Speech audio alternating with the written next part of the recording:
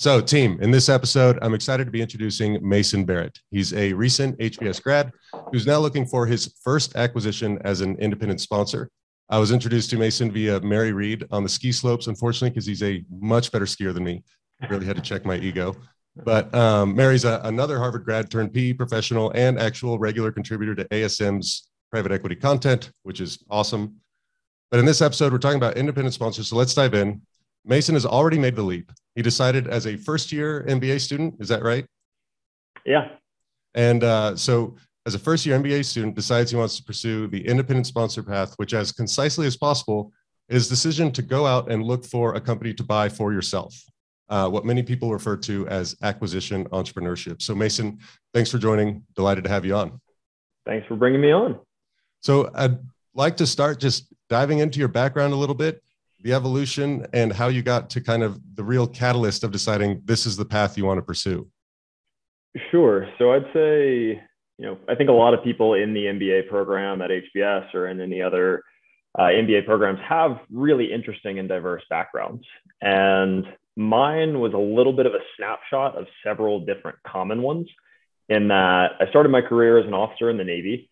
I spent a couple years in the Naval Special Warfare training pipeline I spent some time in management consulting at McKinsey, and then I spent a bit of time as an operator, uh, building and then leading a product development team at a PE-owned action sports and entertainment company. So I've done the public sector, the consulting, the operator, and the private sector. Um, Can you go a little bit into which company that was? Because I know I know which one, and it's kind of fun. Uh, sure, sure. It's it's iFly Indoor Skydiving. Yeah. Uh, so headquartered in in Austin. It's the vertical wind tunnel that you see in just about every major city these days, uh, serving kind of two key markets or two key demos. One, the type of people who will never ever jump out of a plane, no matter what the circumstances or how much you pay them. The plane might be on fire. They're staying in and taking their chances, getting wheels on the ground. And then the other, which is kind of the camp that I fell into, is the active skydiver looking to improve their skills. Sure. Uh, so I got into skydiving back in my Navy days got introduced to the tunnel, used that as a training tool. And this was just a phenomenal opportunity when KSL bought iFly several years ago now to combine, you know, a professional opportunity and a huge personal passion. Sure. For an adrenaline junkie who likes finance, it's almost perfect. it, it was ideal at the time. Yeah.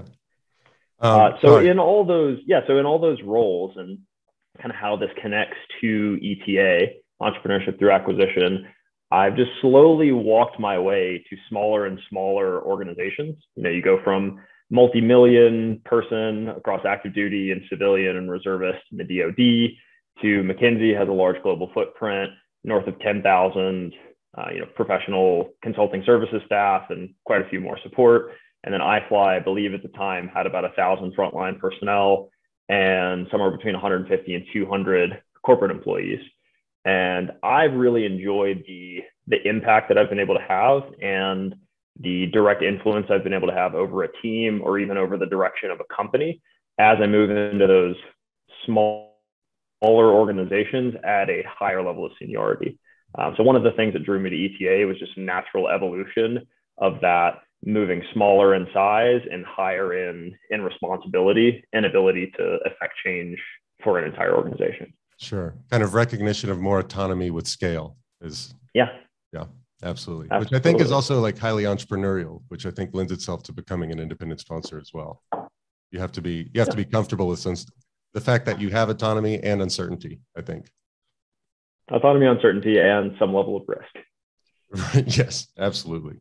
Um, so let's talk a little bit about kind of the approach to doing this. You're you're kind of pulling yourself out of a job. Um, you don't have income for a certain period of time there's generally two approaches that people think of. It's uh, the self-funded or the search fund model. You want to speak a little bit to those approaches and why you decided on the on the approach you're taking? Sure. So so I did spend a lot of time uh, on the front end before one diving into ETA and then two before deciding on my specific path within ETA. Uh, just getting smart on the ecosystem. So there are books, web resources, seminars, uh, what what have been a couple of your favorites for for people listening in? What should they absolutely pick up if they're going to? Sure. So this is yeah, this is this is cheesy. I, I swear Rick and Royce are not giving me any kind of uh, royalties for this, but I did bring Brought it on. HBR yes. guide to buying a small business. Uh, so I say Rick and Royce. This is Professor Richard Ruback and Professor Royce Yudkoff. They are the ETA, the search fund professors at HBS. They literally wrote the book on it and have been teaching a class at HBS for, I think, well over a decade That's at true. this point. Um, so their book is a phenomenal resource. I read that. Uh, I think my wife got it for me my first month of starting the MBA program. And I read that. And I think I actually snuck out of one of my first year classes to attend one of their classes. Ah, um, with the with the caveat that they said I wasn't going to get them in trouble.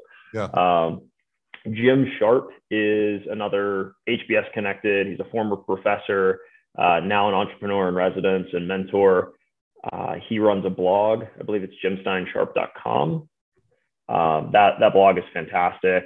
Searchfunder.com is is another great place to get a little bit of education on the space. So I'd say those three were were pretty valuable early on. And then the MBA programs at, at HBS and the GSB especially have just a phenomenal support system and ecosystem built around entrepreneurship through acquisition, you know, self-funded search, search funds, and independent sponsor models. Uh, so there are clubs, mentorship sessions, learning sessions, ways to connect with other people, um, to spend a lot of time doing all those activities as well. Yeah. So it's, it's an isolated profession until you close. So it's great to be aware of the networks and resources that kind of can give you a little sanity while you're while you're looking. Um, yeah, and one of the and one of the really nice things I found is that that search fund uh, and associated entrepreneurs in general have been really generous with their time. You know, so as as someone who they didn't know at all, no personal connection, maybe not even a school or a military or a McKinsey connection, just said, "Hey, I'm interested in this this unique brand of entrepreneurship, and your name got floated to me. Can we chat for 15 minutes?" Yeah. And the the responses were were overwhelmingly positive. So if you can find search fund entrepreneurs, they'll they'll likely give you a little bit of their time as well. Uh, but you asked, I think about yeah, all that research and exposure back to all that research and exposure. yeah, the way that I kind of made my decision was: Do I pursue this this path in general? Is this the right thing for me, given my background, my skill set, my goals, um, kind of future professional interests, all of that? That's my first little decision node, a little yes no off that. And then, if so, how to go about it. And in general, I'd say there's two or maybe two and a half uh, core modalities in this world. Basically, the independent sponsor slash self-funded model or the traditional funded model. And I'd say the 0.5 there is there are uh, kind of modifications on the traditional model that are basically search accelerators that are a little bit more concentrated in your in your capital raise and who you're going to work with. So what, but in what are, general, what are the main distinguishing factors between those two? Sure. I'd say big distinguishing factors are first how you go about looking for a company. In a in an independent sponsor model, there is no one paying your bills. Um, you are doing this essentially out on an island. You're doing it by yourself. You may be able to acquire or assemble some advisors and some helpers, maybe grab some interns. Um, but you're basically doing the work by yourself and you have to find a way to obviously survive and provide for yourself and potentially for your family uh, during the time that you're looking for a company. In the traditional model, you will raise somewhere around call it 300 to 500 grand of walking around money, and that will enable you to pay yourself a salary and to be able to afford you know additional systems, tools, processes, personnel uh, to facilitate the search uh, the search phase. Uh, so that's that's I think one of the biggest, most defining characteristics. And when, and, and when you raise that money, just to go the last step, when you raise that money, the the search backer, as they're called, the people providing you this capital, mm-hmm. what what are they entitled to because they gave you three to five hundred thousand? Sure. So they're entitled to several things. I think the the first thing that they're most interested in is that they get right of first refusal to invest in a pro rata share in your deal. So say you raise 500 grand, an individual investor or an institutional investor provided you $100,000 of that 500, they are then entitled to invest one fifth or up to 20% of the equity injection in your ultimate deal. Uh, they, they're not compelled to do that, but they have the ability to do that. The second piece is I believe it's market standard now that they get a 50% step up in the search capital. So that search capital, that 500 grand that they gave you to facilitate your search, transforms or becomes 750,000 of equity in in the search deal. And then finally, I think there are you know quite favorable economics for uh, for search investors and for search entrepreneurs, frankly. Um, so they get to participate in these deals that historically, as an asset class, is underwriting, I think, somewhere between 33 and 35 percent IRR over a 30 plus year lens of study. Right. Yeah. When it works, so, it works really well. Yeah, when it works, it works really well. When it doesn't, uh, you know, it's a it's a fairly or relatively de-risked way for an individual entrepreneur to pursue this path. Yeah. You know, you you go out as an independent sponsor and you look and look and look for a year and a half, two years, or God forbid, even longer, and you don't ultimately successfully close on an acquisition. You've just spent two years of your life making no money and in fact spending money. Um, how do you, know, you prepare yourself for that? That's another question I really wanted to dive into. Just like mental preparation, how you think about you're going to be grinding through, calling, uh, calling on founders, owners, CEOs, CFOs, trying to find a way into a company. And uh, you just mentioned before the call that you've had a few calls today, and you know some of them ended up kind of dead ends. And that's yeah. that's part of it. That's you have to be turning over so many rocks looking for the, the perfect acquisition because you're also it's you're the, the, the biggest challenge is you're taking someone a company that someone's built over decades and you're mating your future with it so there's a lot of concern on both sides of the equation which means there's a lot of reasons it can fall apart so it's perfectly natural that they do how do you think about being like mentally tough and prepared and knowing that you're going to be doing this for i mean sometimes you get lucky but i think average is 12 to 18 months i think it's actually slightly longer i think the oh. average is about 20 months to acquisition yeah i would love to make an acquisition in less than 12 months that would be I'd be singing and dancing. Uh, so just a, just a couple things on this front. Um, one is I hear no probably 50 times more than I hear yes. Yeah. Um, so yeah, I, the the call that you're talking about this morning was one of several where folks registered some interest, set up time to talk.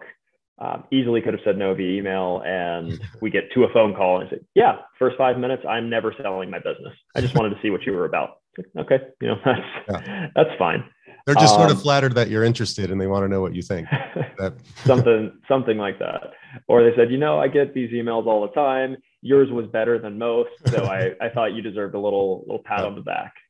Um, yeah, in general, a bit of mental toughness, bit of knowing what you're going into. Uh, I think is is the balance there. Mm-hmm. is as as I was doing all that advanced preparation, you know, reading the books, attending the classes, talking to current and former searchers or independent sponsors across all levels of tenure and success, um, talking to my family, uh, having lots and lots of detailed conversations with my wife about was this going to fit our joint professional goals? Was this going to fit our joint family goals? um, just making sure that you've got a really solid, unvarnished view of what the life is like sure. is is I think very helpful. Um, so you really know what you're signing up for. And on the on the mental toughness side, um, I mean, having having gone to BUD/S and done the done the SEAL training, done it to the extreme. Admittedly, um, unsuccessfully, uh, just having been in that environment and having been subjected to some of those challenges, I think helps me contextualize a lot of things. Sure. Say like, hey, yes, I'm hearing no all the time. Yes, I'm still not actively drawing salary. I don't have something that's on the verge of closing right now, but I'm warm. I'm yeah. dry. I slept yeah. eight and a half hours last night. I'm I'm still pretty happy. Yeah, you've explored and then it's in, in more extreme ways, other ways. Yeah, and then I think I think it's also helpful just as the final piece, preparing of, in terms of preparing for this grind of turning over lots of rocks, hearing lots of no's, finding lots of times when you're not a good fit, um, is just keeping in mind what the end goal is. And the end goal is not just doing this for five years, 10 years, and continually trying to make acquisition after acquisition and living in this phase. It's actually getting into a company. It's providing a path to liquidity or providing a succession plan uh, or a path to retirement for a successful entrepreneur it is making sure that you're maintaining and preserving the livelihoods of the several to potentially several dozen people or even several hundred people working for them. It's enabling a huge, huge level of personal and professional agency to have control over what you're working on as a professional and to be able to craft the kind of life that you want to live that you can, in my opinion, really only functionally do as an entrepreneur. And then there's always, you know, you can read the Stanford study for a little bit more detail, but there's always the, you know, the personal financial reward aspect of that. And I think, I don't know if this is your quote or a quote that you, you know, borrowed from somebody else, but I liked it. It stuck in my head. You know, nobody sets out on an entrepreneurial path planning on going broke. Yeah. and there are, yeah, I think the, I think the kind of longitudinal study and the averages show that this is a, a great career path for similarly minded and similarly skilled folks with military backgrounds, consulting backgrounds, um, banking, private equity backgrounds, um, just on on the law of averages. But then there's always these lights out stories and these lights out studies that that occasionally happen through the entrepreneurship through acquisition model. Not that that is my guiding star by any by any means, but they're sometimes an interesting um, interesting story to keep in the back of your head. Yeah, I think anything that has uh, potentially strong upside from a career perspective, but also has that X factor potential It's just more exciting in general. I mean, it's you're not banking on it, but the fact that that exists is is exciting. Um, which I think gets us into our next category. So, investment thesis. What what exactly are you looking for, and, and how are you narrowing your search? Yeah, so I am. We might as well start with what makes a good down the fairway search or down the fairway independent sponsor acquisition when you don't have an incredibly detailed and technically centric background. You know, if I had spent a decade of my life in oil and gas versus a banker, then as a then on the buy side, then in operations for a while, I would probably be looking for an oil and gas business. Sure, but, very industry specific. Yeah, but for someone who has a more broad background and kind of skill set that they've accumulated across pretty different industries and pretty different functions, there is this model built on the model of um, Irv who's a professor at Stanford GSB, and expanded by Rick and Royce, professors Ruback and Yudkoff.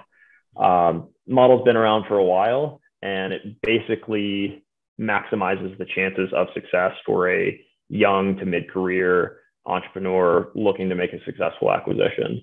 Um, so I'm guided by that, which is basically looking for a company in the five to 30 million top line range, 750K to probably 3 million in EBITDA range, something that is non cyclical or potentially counter cyclical, low capital intensity, so that its cash flowing characteristics are strong, low customer concentration, and high quality of revenue. And by that, I mean, you know, the ideal would be high recurring revenue, but at a minimum, a consistent and predictable trend of repeat purchase. Um, so what that sure. tends to look like is a lot of B2B and B2G services. And what it tends to not look like is e-com, direct to consumer, you know, brick and mortar retail, construction, auto, um, heavy industry, oil and gas. In addition to all of those kind of strict financial characteristics, I am looking for a, a business that's at a certain moment in time. So there can be certainly businesses that meet all of those criteria in terms of size, cyclicality, industry, character of revenue, but their their owner obviously, or maybe not obviously at first, but their owner has no interest in selling, or the owner has family members who are in the business who intend to stay in the business, um, or they have a very well defined succession plan already that doesn't involve outside capital, doesn't involve the need for a new leader of this business whenever they retire. Sure. Um, but yeah, also I think one of the one of the driving forces or driving characteristics behind what I'm looking for is filling a different niche, and that's uh, you know there's there's more more money than I think either of us can can really quantify or imagine. Distinguishing yourself from the capital base is yeah. one of the most difficult things right now.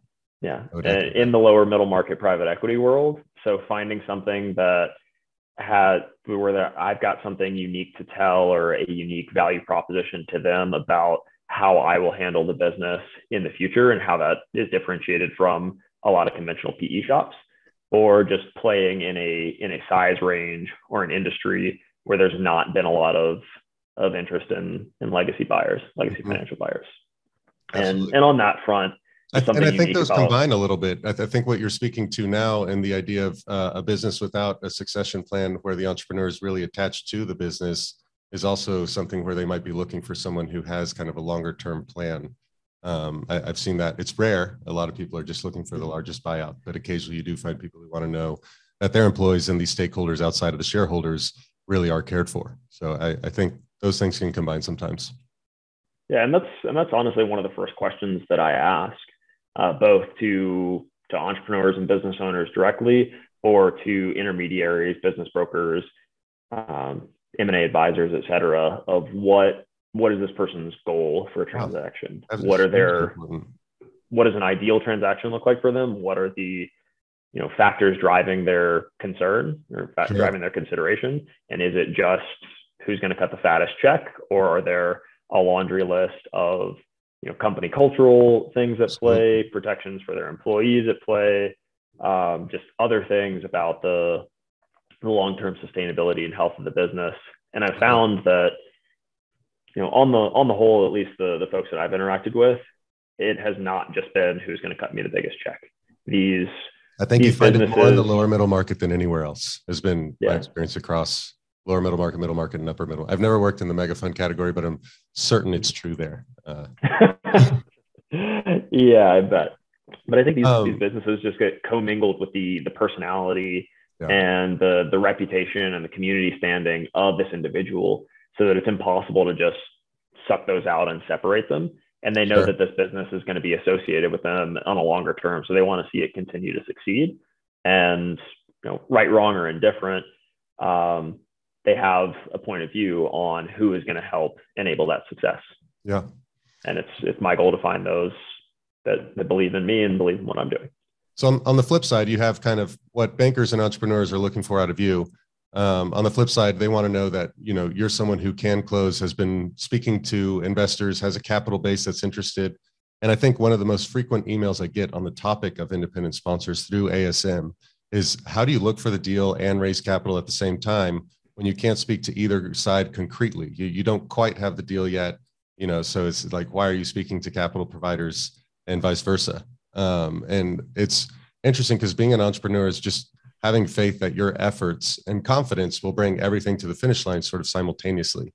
So just be curious to your take on that. Yeah, I think the the successes of people who have come in the, the kind of generations of ETA before have have really made it pretty straightforward for me and my generation. And by that I mean this model, this modality of, of buying a business has has been around for quite a while now, and it's got a really strong proven track record.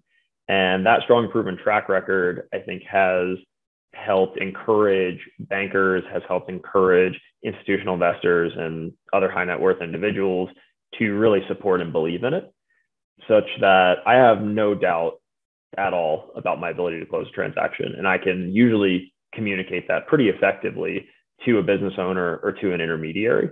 Um, I'll give a quick plug and a quick shout out to, to Live Oak Bank and say that they're the, you know, the number one SBA lender in the country.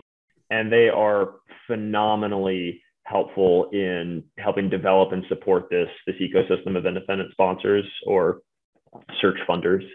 Um, they provide a lot of time and they provide letters of support that indicate they have already pre-screened and vetted you. They know your background. They know what you're looking for, and they are prepared to finance a deal uh, that you that you bring them, basically meeting the parameters that you've already discussed. And then on the equity side of the house, there is, I think, similar to similar to private equity, there is a lot more money available than there are quality businesses and quality deals, such that if you can get a bank to to underwrite your deal, the equity raise is not going to be a significant challenge. Um, That's right. So I think I think there's yeah, no think, even there's no even institutions that look for precisely you, basically, right? Their objective is to raise a fund and then go find independent sponsors and only only fund independent sponsors. So I, I think it has broadened an appeal. And so long as you're kind of talking to people along the way, the idea that you wouldn't be able to get the capital generally generally pretty unlikely if you yeah, have an attractive opportunity. Yeah, and that's and that's not necessarily to be dismissive of the you know the concerns of of an individual business owner or of an M&A advisor uh, because they I'm sure they do encounter lots of people who are just kicking the tires who don't necessarily have the same set of professional experiences, same set of educational experiences, same you know group of potential investors whom they have been engaging with for you know, potentially their entire career or at least the the period of time that they've been dedicated to preparing to to launch an independent sponsor sponsor search. For sure. Um, I, I, mean, I, I worked in a position where we were funding independent sponsors uh, once, and it was interesting because if uh, if the individual came prepared, really knew what their plan was from kind of LOI to close, understood the due diligence process, knew their third parties, et cetera, and has something that we didn't consider market. The idea that I mean, we were generally competing with other groups to get involved. Um, occasionally, we did see people who had somehow secured something under LOI, and it didn't really make a lot of sense, but most of the time, if you've been doing the work correctly, it's it's attractive to institutional capital. Yeah, and I think where the maybe the biggest knowledge gap is here is for individual business owners, is less so for M&A advisors and business brokers, is that they you know they have run a phenomenally successful business in their industry in their niche. They may not have been exposed to this this world of, of, small firm yes. transactions or this process before. So I might say, yes, I've got a Rolodex of four or five dozen uh, either people or firms who are interested in supporting me, and I'll call that list based on who is the right fit for the right company. They can just just as easily roll their eyes and say, "Yeah, sure, show me the list," yeah. or "Show me letters," and and that's something that I've done occasionally. It's not something that I've felt like I had to lead with, um, but sometimes they have said, "Hey, this is a larger deal. This is something that would would take potentially a significant amount of our time, effort, and energy. So we want to know that you're serious. Can you provide some some letters of support, both from debt and equity partners? Can, for, Unfortunately, for, I've got some. For people listening, can you describe a, a, letter of support? Very short. It is yeah. less than less than one page. Basically, company letterhead or personal letterhead saying, "I am so and so at such and such bank." Mason and I have had lengthy conversations. I understand his professional background and his goals in completing a transaction. We're prepared to support him in a transaction with enterprise value right. from five to 20 million or yep. whatever it may be. Similar from an equity side is I have gotten to know Mason since we worked together at McKinsey, or I've gotten to know him while teaching him as a professor at HBS. I regularly make private investments in the amount of up to 200,000, 500,000, a million, whatever it may be uh, I am interested in reviewing any and all deals that he brings my way. Sure. It's yep. literally just right. a couple of sentences. Um, it's funny the confidence it gives. I mean, it's it's like a paragraph on a signed piece of paper, and somehow it can advance your position in in a process. I've always found it a little interesting that that's all it takes. But private yeah. equity, to some degree, is a confidence game. So, or to a degree. yeah.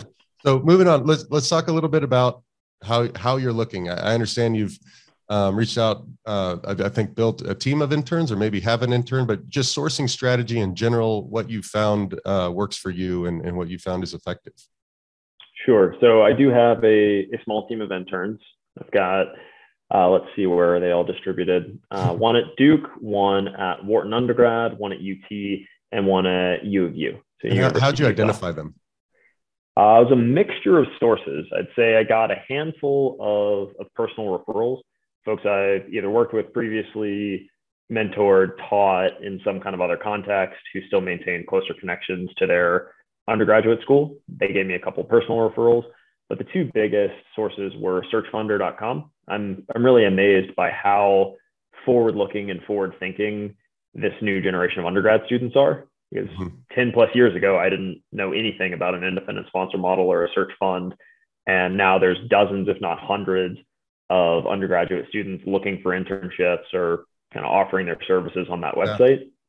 And then there's a great uh, cross platform university recruiting tool called Handshake. And once you go through the hoops to be verified, they know you're a real business. They know you're you know, complying with all of the, the various universities, recruiting regulations. You can post basically a job listing to multiple schools at once mm-hmm. and get resumes back. That's fantastic. So walk through that whole through that whole process. Means yeah, the competition is going to step up in a generation or two. It's going to be yeah. I mean, not that the competition is already not steep in the P in the P world, but it has it has exploded in the in the search or independent sponsor world just over the past couple of years that I've been aware and trying to get get educated on it. Absolutely. It's it's amazing how much more interest there is now versus even 12 months ago. Entirely. Um, so how do you work with uh, how do you work with your interns to source deals? Yeah, so my interns don't exclusively work on sourcing. I do have a kind of bigger intern program for them where they're getting more out of the experience than just deal sourcing. They do some deal analysis and deal memo work. We've got a pretty robust professional development curriculum. Um, but where they where they plug in on sourcing is typically heavy on company research.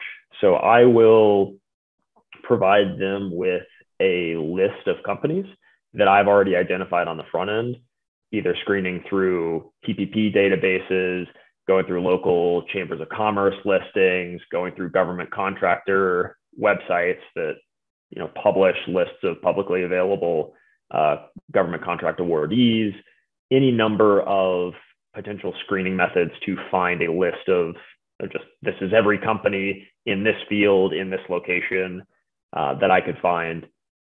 And then I set them off to do the research on honing down industry, gaining information and insights on ownership structure, making sure that it's not already private equity owned, that it's not already a subsidiary of another company.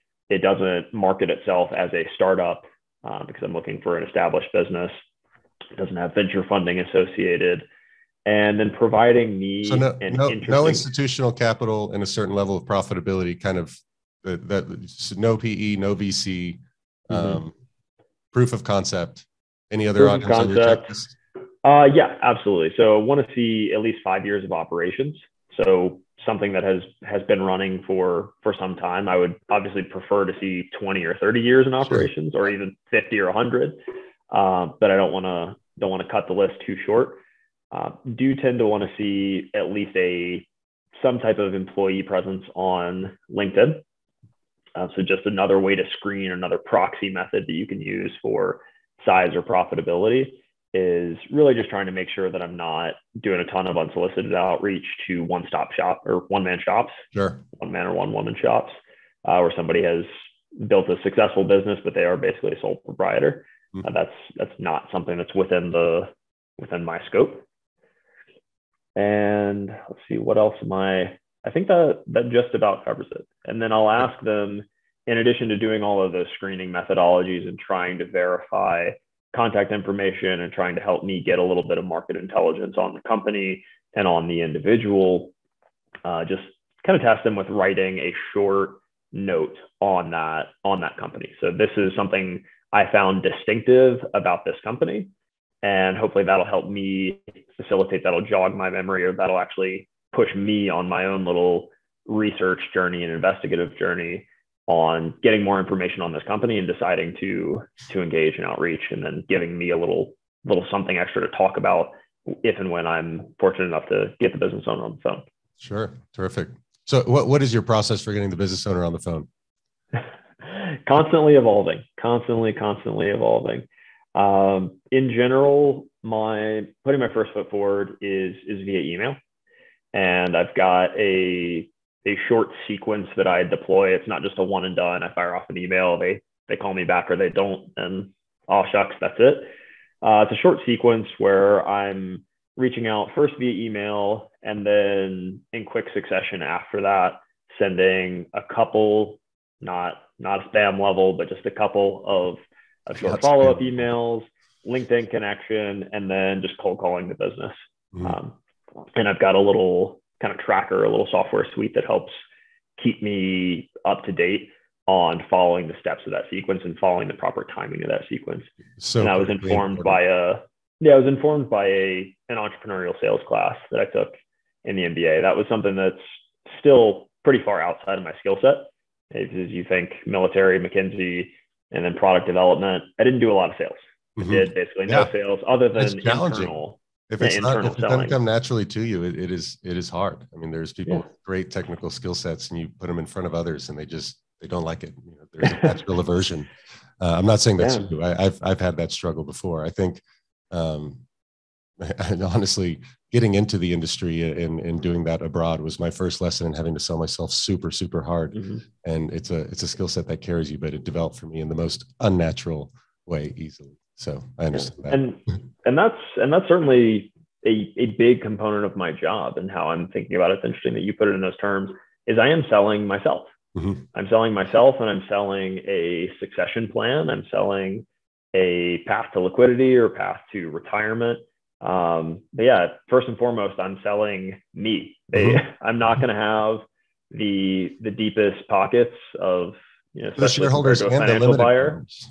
Right. Yeah, absolutely. To to those, to limited partners, to business owners, I'm not going to have the deepest pockets, so I have to bring some other compelling value proposition about they believe more that the business is going to be successful under my leadership. They believe more that their people are going to be taken care of better under my leadership. They believe something about me and my background is going to help distinguish and differentiate me from the dozens or hundreds of, of other cold outreaches that they get on a regular right. basis. Right. So let me. And then I've got a whole similar but slightly more targeted or slightly from a different angle story that I do tell to to the limited partners. And when I'm selling myself to have folks interested in following my journey and get occasional check-ins from me about the kind of businesses that I'm seeing and the kind of progress that I'm making which I think is so important. If you want to develop like trust and credibility, having those regular check-ins. I have a I have another group, uh, two guys who just left PE shops, and they have a very very targeted search. And so they basically, for anyone that they consider to be a potential LP, now have a monthly newsletter that just goes out and says kind of what they've done that month in searching and you know if you want any more detail they'd be happy to follow up with a phone call and then they just follow up with phone calls anyway just to keep that base engaged um, mm-hmm. and that you know there's many different approaches to it. That's one of the more recent ones i heard but it's just it's absolutely paramount. Um, i wanted to ask you so you've, you've reached out to the business owner. There's some interest and um, i find this i find this to be very tricky. You have to talk about value at some point. So how do you get to the point of talking about value? And if they're asking you to propose valuation because they're just kind of hands in the air haven't thought about it how, how do you breach the subject? Because you're trying to find something that's attractive to you as a purchase price but not insulting to them. And obviously, you don't want to overpay for an asset. So it's kind of this balanced conversation. Yeah. So I think um, that's a that's a great question. I think in general, every business owner, whether they're going to share that with me on the phone, uh, especially on a first phone call or not, has some kind of a number in mind. Is they've they've gotten an unsolicited offer before. They've talked with an M and A advisor. They've got you know a colleague or a friend or a friend of a friend who's in a similar industry and they know vaguely what that business sold for or they know the kind of lifestyle that they want to provide for themselves their family kids etc I, I hate to cut you off but i always find that part so funny when there's a number but it's not connected to the business. It's just sort of mm-hmm. how they want to live thereafter. And I, i've even had people quote me based on like number of jet skis or boats that are required post transaction.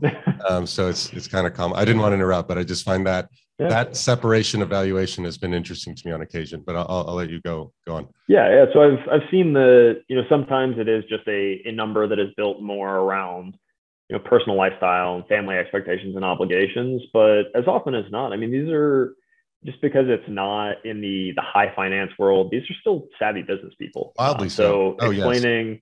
you know, explaining, hey, I typically operate on a multiple of EBITDA, or just to to speak in even plainer language, say, hey, I, tend to try to value a business as a multiple of its pre-tax profits. And I typically live in a range of call it three to six times pre-tax profits. And the the characteristics of the business in terms of going back to those things that I talked about me looking for earlier on in in our call. Um, you know its quality of revenue its total size its level of customer concentration the industry it lives in how defensible it is relative to its peers or competitors. All of those things can make a business more or less attractive. Certainly. Um, so I, I, love, I, tend I to try to bring say, that up. I just have to go back to a comment because I love that you made it that the entrepreneurs are, are just wildly savvy. And I would say you, you generally don't know anywhere near as much as them about their business, certainly um, about finance or accounting specifically, maybe, but I've generally found that the knowledge base is so profound there, and you're just trying to find the same language to communicate in. Like the vocabulary mm-hmm. changes. People refer to income statements on cash basis or accrual basis, and things like that. But their their knowledge their knowledge is so profound, and it's I think one of the most insulting things you can do uh, to go in and assume that it isn't, because it will it will very quickly kill a conversation. Kill a conversation, and then you may get your ass handed to you by somebody you didn't realize was a CPA in a previous life. Right, that's right. um, so yeah, I, I try to drive to that very very early on. Um, I've got just a handful of questions that I try to get through as I try to develop a little bit of rapport in a very first call that I've mentally allocated 10 or 15 minutes to. And if we really hit it off and all those answers to the questions are, are checking the right boxes, I'll, I'll stay on as long as they'll give me. Sure. Um, but in general, I'm trying to kill a deal or to kill a conversation as early as possible because I don't want to waste my time and I certainly don't want to waste their time. Yep. So I lay out what I'm looking for in terms of size, industry, character, revenue, and also lay out you know valuation expectations at a very high level. And if that resonates, and say, hey, does this sound like we're in the same ballpark? Should we keep talking? And then I hear, yes, I meet all those criteria. Let's chat. So to or, go to, before, but to go back to valuation quickly, when you say here are my valuation expectations, do you apply it sort of this is what I'm looking for in general as it relates to my search? These are the parameters as it relates to valuation, or will you go as far as say as it relates to your business? here's where I think valuation would fall. I think the first, the former is like a very, it's a softer way to approach it, and the and the mm-hmm. second's more direct, and the and the direct approach can sometimes really backfire. And so I'm just curious. Yeah, so I I'd say it's it's kind of a blend of the two. Um, so typically when I'm on a first phone call with a business owner, we're not under NDA. Um, so there will be definitely and, and varying NDA being a non-disclosure agreement. Sorry. Yes. Yeah. So there there will be tremendous variations in their level of comfort sharing information about their business. Um, so I, I tend to not be able to give a specific number in that first phone call or a range in that first phone call, but they can very easily, without divulging information to me that they're not comfortable divulging, say, okay, I know what my tax return was like last year. My pre-tax profits were this. So they can start putting between, it together. Yeah, they can start yeah. putting it together. And if it's within the range if we're in if we're speaking the same language if we're playing the same sport whatever yeah. you know terminology you want to use we'll keep the conversation going and i'll take that as my first piece of my first indicator that we're we're trending in the right direction. If they ask me specifically but to get a little more granular to get a little more granular on that you're basically coming coming to the conversation and saying here's kind of multiples of some measure of profitability that i'd be willing to move forward on. You don't know how profitable the business is but the seller thinks okay well this is how profitable i am. This is his multiple so they can put that together and then if the conversation persists then you guys know you're kind of playing in the same ballpark yeah.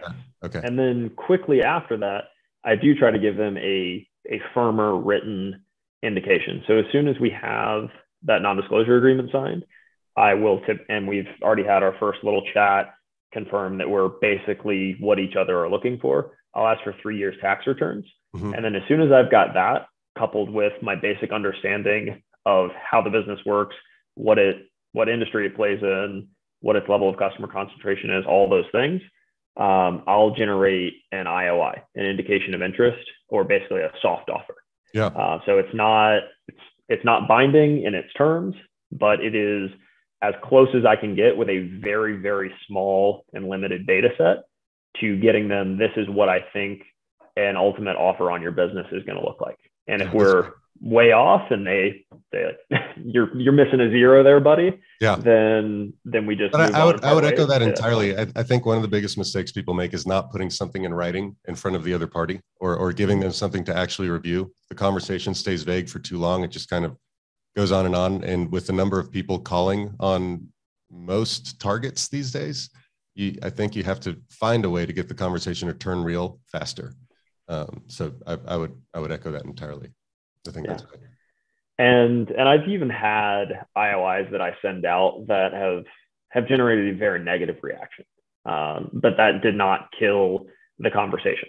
say, "Hey, how yeah. on earth did you?" You still get a reaction. Right? This is yeah. This is insulting. And say, "Well, this is you know the information that I have on your business so far. This is these are the assumptions that I made about it. This is what I think is you know fair market multiple, something that is if you're you know, appropriate for for both of us. A misunderstanding, right? If if yeah, yeah, If, if you guys are too far off, you can say like, well, this is inf- this is off of highly limited information. Like if mm-hmm. if there's more of a conversation to have to be had here, I'm very interested in and let's do that. Um, yeah, I mean, there's there are certainly factors where I may not know their character of revenue. They may have a 90% recurring revenue business that I just assumed was you know, basically repeat purchase and very difficult to predict. I'd like to think that I would have that conversation before generating an IOI, uh, but I think I've had several of those misunderstandings or kind of crosstalk with a with a business owner about not fully being clear on what exactly their business is, and we've had significant valuation gaps yeah. because of that. And then we get that new information, and offer comes up, offer comes down, and we continue the conversation Listen, from there. Absolutely. Um, so I had one final question for you, but are, are we missing anything? I think as we talked about about sourcing and networking and all of that, I did I didn't really get into one of the one of the things that's unique to my approach. Oh yes, and that's absolutely the, need to talk about this. Yeah, the SDVOSB. Mm-hmm. Yeah, so we talked a little bit, and I think we we both used the phrase something about differentiating yourself or finding your niche, finding a place that's not as heavily competitive. And something that I found for me, based on my background, skill set, and interest, is looking at government contracting businesses and specifically veteran owned small business and service disabled veteran owned small businesses. Uh, so that's SDVOSB. It's a mouthful. I've said it dozens, if not hundreds of times over the past couple of months. So it rolls off the tongue nicely, but it, it can trip you up otherwise. Um, this makes so much sense to me because uh, I've looked at, and we talked about this before, but I've looked at a few businesses that fall into this category.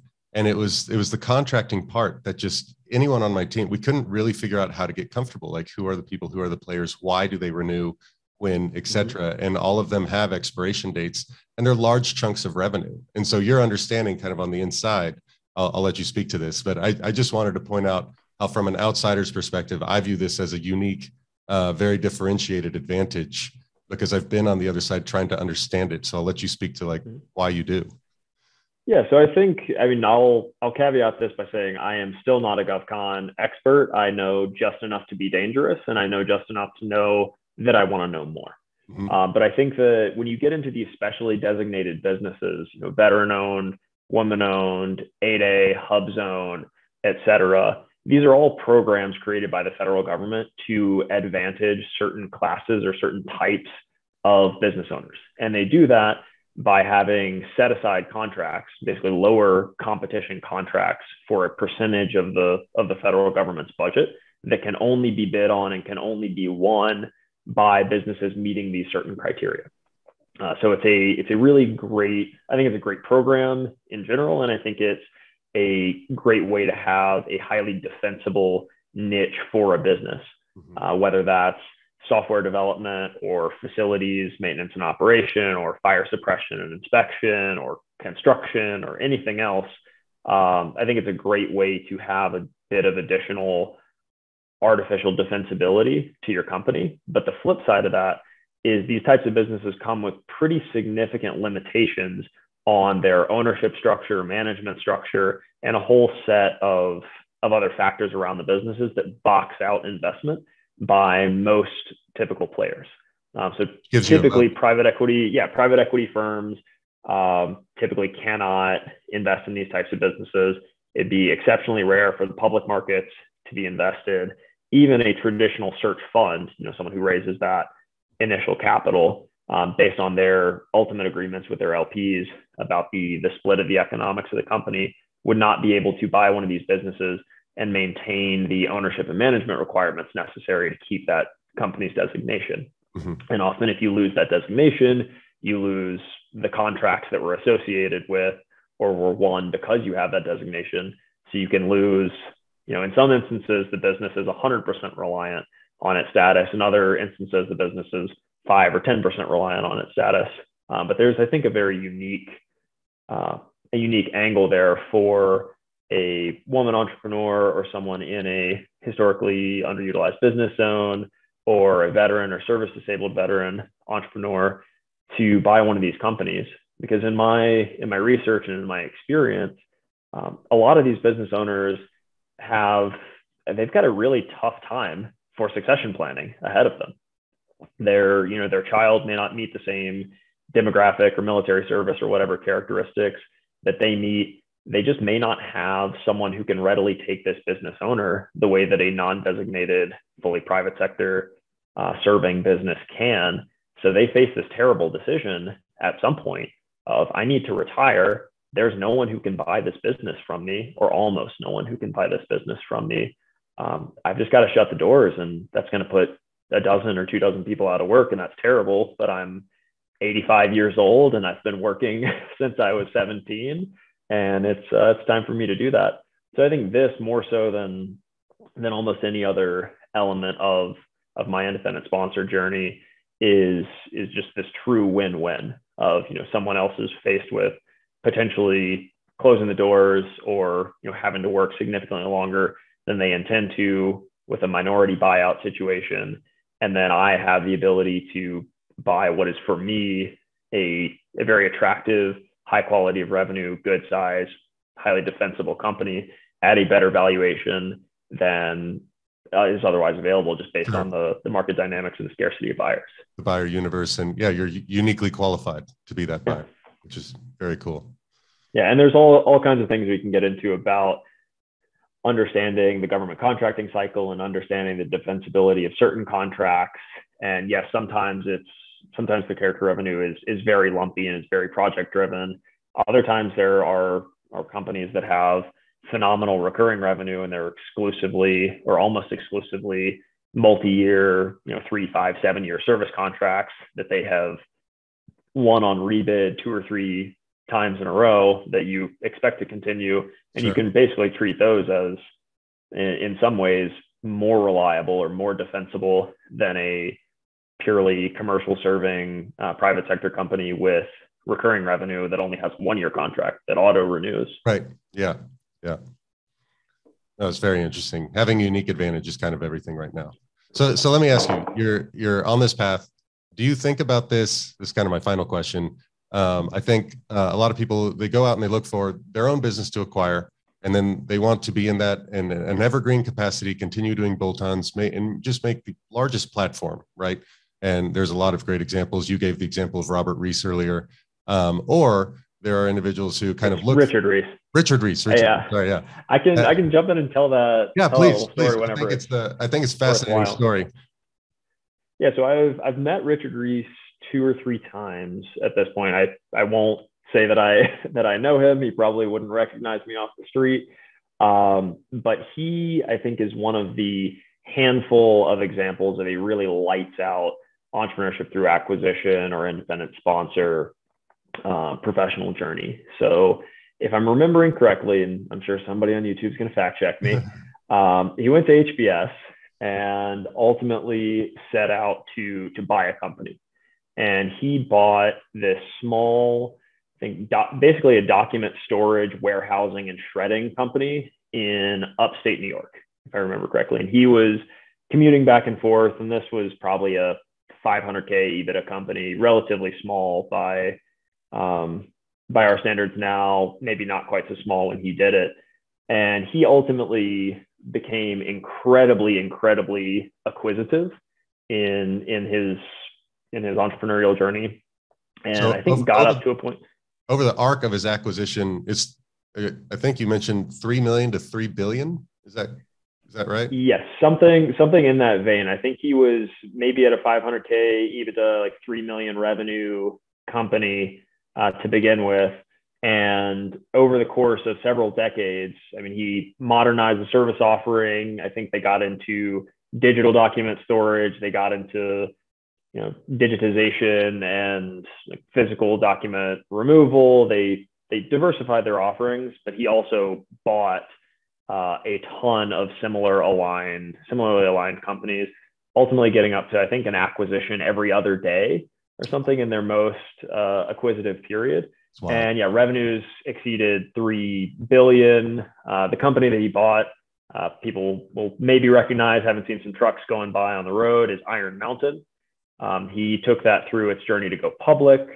Um, I believe he retired and then came back for a period of time. But this is just a a story of a small, really small acquisition made by a, a hungry and hardworking young entrepreneur that ultimately just turned into this absolute behemoth and has has of course set up Richard and his family for you know, long-term success and has enabled him to to do lots of things in, in the charitable world. Has enabled him to do I think lots of investing lots of board advising and, and lots of other things. So that uh, that's, uh, so that's that's kind of a perfect explanation because that's my so my question is do you see yourself wanting to try something like that the buy and build acquisitions all on one platform? Or do you think of this as i need to go make a couple acquisitions on my own uh, show some success raise capital and transition to the private equity fund model which which gets you more excited? Because i think one is more you're an operator you're an entrepreneur and you're always scaling the same entity. And the other really becomes two functions one of raising capital and one of deploying capital. And i think they appeal to people very differently. Yeah. So i'd say uh, i don't think either is really in the cards becoming the next richard reese or uh, or starting my own fund. But thematically i lean much more toward the former.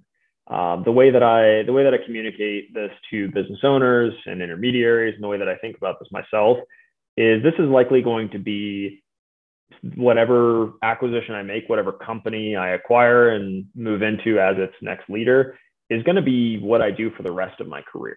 Um, I'm not, uh, just as I've explained my background, I'm not a deal guy by trade. I don't have the experience in raising capital and deploying capital that, say, someone who spent a couple years in banking and then the next decade plus in in private equity has.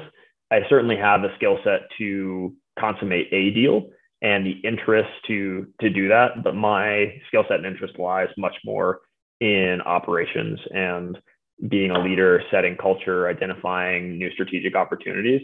Um, so I can't. I'm never going to sign, you know, a promise in blood that I'm going to never sell this company sure. that I acquire.